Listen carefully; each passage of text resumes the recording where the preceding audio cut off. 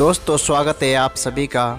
सपने वे ही पूरे होते हैं, जिनके लिए नींद उड़ा दी जाए। कुछ ऐसा ही कर दिखाया झुंझुनू ज़िले के बुहाना क्षेत्र के नावता गाँव की रहने वाली ईशु यादव ने। वीरों की कहानियाँ सुन सुन जोश जगाती हर रोज में। तपा तपा कर देह को लेफ्टिनेंट बनी फौज में।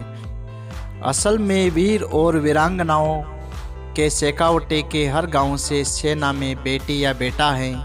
यीशु यादव का नाम अब उनमें शामिल हो गया है। यीशु के आर्मी ज्वाइन करने की कहानी भी कुछ हैरत करने वाली है। जिस नावता गाँव से यीशु है, वहाँ से करीब 20-25 लोग सेना में हैं। बचपन में उन्होंने जब शहीदों की किस्से सुने और गाँव में इनकी प्रतिमा देखी तो सेना में जाने की इच्छा परिवार के सामने रखी। नवंबर 2021 में एग्ज़ाम दिया और क्लियर कर लिया, लेकिन फ़िज़िकल में वह अटक गई। 27 किलो ज़्यादा वज़न था। घर वालों को भी लगता था कि इतना वज़न कैसे कम होगा। जब सिलेक्शन हुआ, तब भी 79 किलो वज़न था। जज्बा था मन में देश सेवा का तो पहाड़ सा वज़न घटा दिया। ऐसी लगन लागी मन में, ये करके दुनिया को बता दिया। दोस्तों, यीशु यादव ने बताया कि अक्सर शहीदों के किस्से सुना करती थी।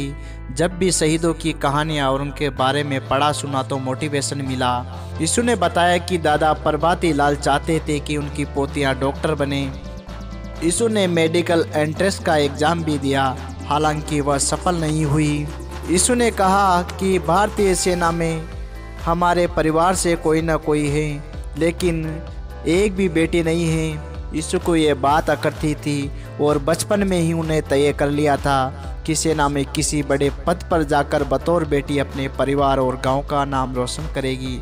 जी तोड़ मेहनत के बाद आज यीशु भारतीय सेना के सशस्त्र बल, चिकित्सा सेवा के ब्लेक्ट्री नर्सिंग सर्विस में लेफ्टिनेंट बन गए हैं। उन्होंने सत्रहवीं रैंक हासिल की। दोस्तों, ऐसी ही बहादुर देश की बेटी के लिए शेयर सब्सक्राइब और लाइक करना ना भूलें। जय हिंद वंदे मातरम।